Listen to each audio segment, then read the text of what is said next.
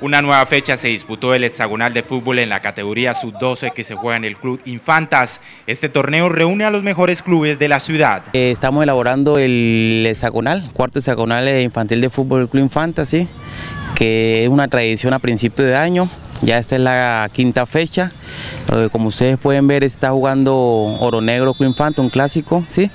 Eh, y es una transferencia que se lleva cada año eh, con los mejores equipos de la ciudad de Barranca Bermeja. Son diferentes categorías. en este año estamos participando con la categoría sub-8, la 10 y la sub-12, ¿sí? Son tres categorías en las cuales este, aproximadamente son como 300 jugadores, ¿sí?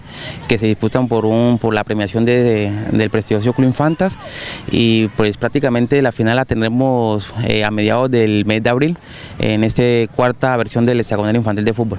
Felicidad es lo que deslumbran los menores que participan en este hexagonal ya que el mismo es un escalón en la formación como futuros futbolistas profesionales. Sí, muy bueno, muy competitivo y, y también muy beneficioso para nosotros ya que aprenderíamos más para años más arriba. Sí, claro.